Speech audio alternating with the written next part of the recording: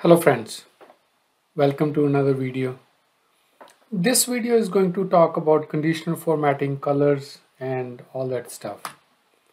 Uh, this question was uh, recently posted on Reddit uh, regarding where a, a user posted the question that I have this uh, a sales um, over period by category and uh, it shows a different color in the bars of course uh, as Power BI works. But the same colors what was shown on the bars in the in, in the chart there the cust the user wanted to see the same colors in the matrix visuals as the background. I have solved this many many times in the past but I think I never uh, thought of doing the video about this uh, but after reading that question post on Reddit, um, I feel like that uh, this is something can be helpful if I share this in a video. So what I'm going to do is I'm going we're going to look into a small data model here, a simple a sales by category, and look at the out of the box behavior, and then see how we can improve on it and how we can make the colors used in the chart uh, line you know by uh, uh, you know line visual by category or the bar chart by category the colors what is used in those visuals that can be also applied on the matrix visual. So let's get to Power BI and take a look at it. So here in Power BI I have a very simple model where I have a a sales table and category table. So I'm looking the sales by category in a bar chart and then similarly I'm looking the sales by category in a matrix visual. So the fundamental question is the color used in this particular um, sales by category here in in my bar chart is of course coming from template or the theme we have are we are using so if I really want a different color for each category what I can do uh, in this case, on x-axis, we have category. If we had a date on x-axis or month or quarter or any other uh, um, so-called um, column on x-axis, uh, usually what we have is we have a category on the legend as well. So here I'm going to put the category on the legend just for a second to showcase. So now what we have is now we are seeing based on the theme what we have in our Power BI report we get the different colors in in our uh, for each category. Now if I want a similar color like A is a blue or B is a dark blue and the orange and purple and the pink here in the matrix visual unfortunately there's no way. Like if I go to colors uh, if I go to formatting pane sorry and if I really want to customize how this should look like in the conditional formatting and let's go back here and if I go actually pick uh, matrix visual and if I really want to apply conditional formatting what I have is I go sum sales conditional formatting and let's say background color. I want the background color of my sum sales to be the same as what is shown in the bar chart above. So if I go to the background color what options I I have here. So either I can use the maximum and minimum values or based on the sum sales or I can use the rules uh, and I can uh, define the colors in there uh, based on some values or I can use the field value. Um, th those are the options we have in our hand. But basically none of this uh, at this point in time, uh, I mean not saying none of this, but uh, there's nothing we can do out of the box that which will allow us to create the same background color for our sum sales as what is shown in the uh, visual above. So how we do this and how we can achieve this? Uh, uh, there are a few ways to do that, but the one which I prefer, I'm going to share that.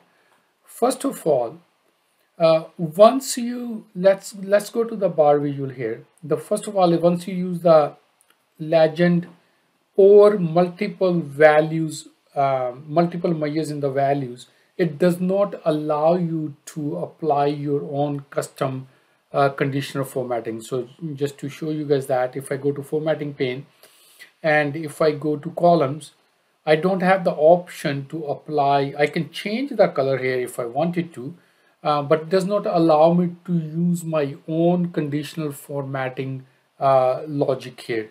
And the reason why it is not letting me to do that right now because I am I'm using category on the legend. Once I remove that, and if I go to formatting pane again, and if I go to columns, and now I have the option of applying my own conditional formatting. That's the first thing.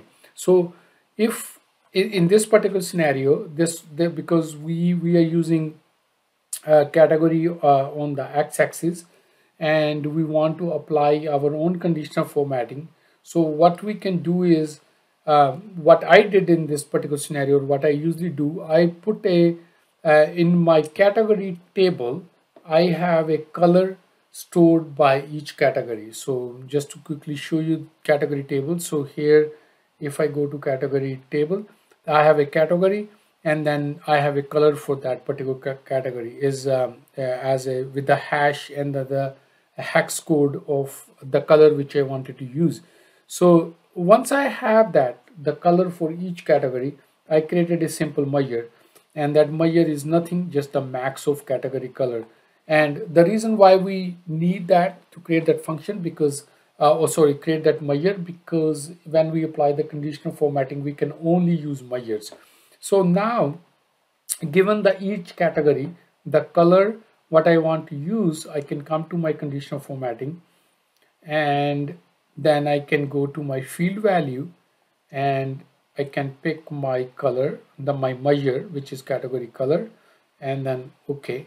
So now, as you can see, the this particular graph, the visual, the bar chart is showing the category category color based on the color in my table which I want for each bar to show for each category. So now this is working. So this is what my color is for each category. The same conditional formatting, the same functionality now I can apply on my matrix visual. So let's take a look at that. So I come to my matrix visual, I go to sum sales, my measure, and I can go to conditional formatting, background color. Did I click that? So I come to values, conditional formatting, background color, and then here what I can simply do is again the same thing. I go to field value and I pick the same color as category color and okay. So now my matrix visual is showing the same color what is shown in the in the visual above the bar chart. I hope you learned one or two things out of this. So I usually when I work with um, um, colors and all that stuff, uh, I usually store those colors in the table. Uh, I store the colors in a way that I can reuse those colors. But if you are using the template and templates by the, or the theme files, um, they they can be used on the visuals like a bar chart, line chart and all stuff. But when it comes to matrix visual or the table visual, you cannot use those uh, theme colors. So you have to use the measures to conditional for conditional formatting and all the stuff.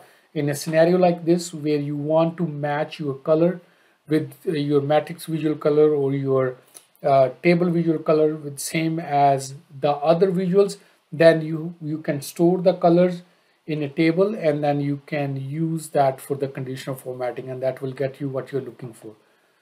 I hope uh, you learned something out of it. Let me know what you guys think. Uh, do subscribe my channel. Until next video, have a great day. Thanks for watching. Bye for now. Thank you.